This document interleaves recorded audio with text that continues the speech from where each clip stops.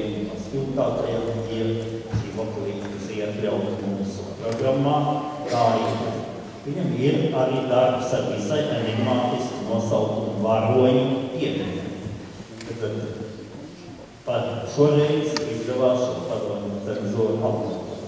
Ja, protams, padomu cenzūru uzskatīja, ka tas ir padomu varoņu slavinājums.